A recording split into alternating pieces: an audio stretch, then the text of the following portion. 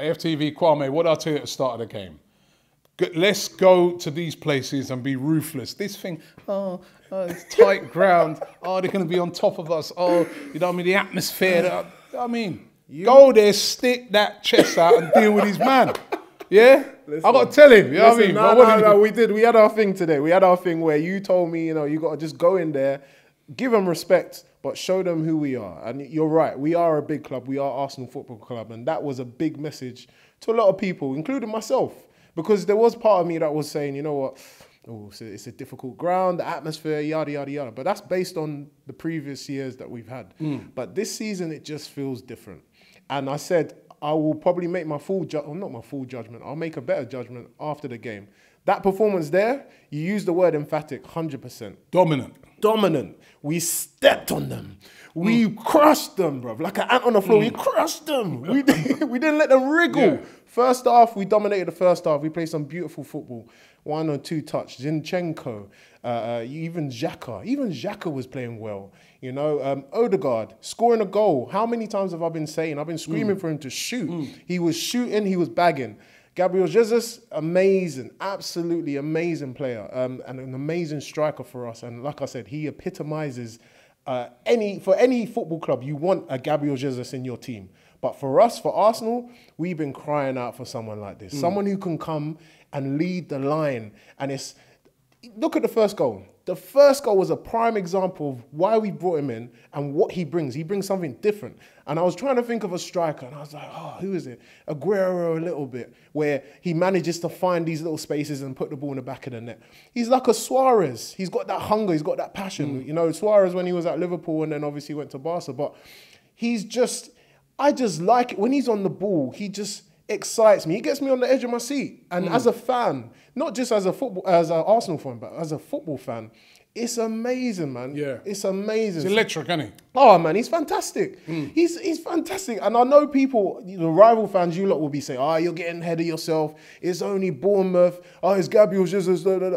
Bro, he is so cold, and I, I can't even imagine what he's like watching him live. The touches he takes, he gets his body in front of the ball.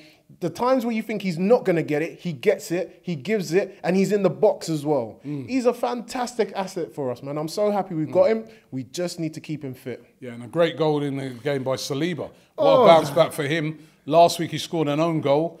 The fans got behind him, right? And then now, you know, fantastic goal today. Brilliant finish. Saliba, arriba, arriba, Saliba. My God, bro, it's it's been a while. I mean, like we, I was talking about before he came back to us, and you know, there was rumors about him not wanting to play for Arsenal, and he's still hurting from what happened with Arteta.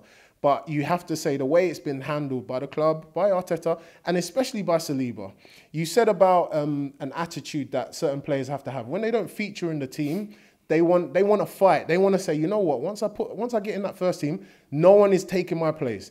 Saliba is, is playing in these games and he's saying no one is going to take over my place. Not not Gabriel, not Ben White, not Tomiyasu, no one. And it's he's so young. But like I said, people I remember in the first game and I watched him, I said, bro, he actually reminds me of Van Dijk. Dare I say it? Oh, you can't say that. Bro, look at how he plays. He plays so simple. He reads the game. He's always on the cover. He leads from the back and he can play football. That's he's perfect. He's literally perfect for us. And so it was just great. The finish was amazing. It was like Messi like where he looked, he just looked and then he just dinked it over the keeper, top corner.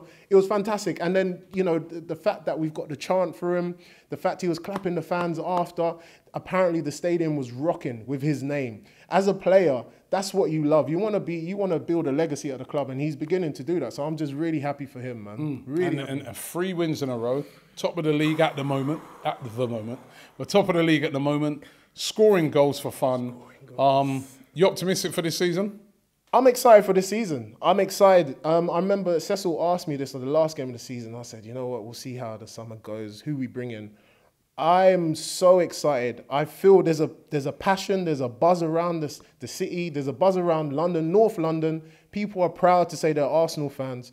Um, I feel like we're gonna do something special. It might not be this season, but within the next two seasons, I, I guarantee we're going to win a trophy. That's that's my gut feeling because what we're building here is something special, and no one can look at that team and look at the performance that we've been putting in and say, mm, I don't know about Arsenal. This is something special. This is something different. To go to Crystal Palace, like you said, Crystal Palace away from home. We dealt with Leicester. Just you know, we dealt with Leicester, and now to deal with Bournemouth. Now people say, "Oh, that's a lesser team."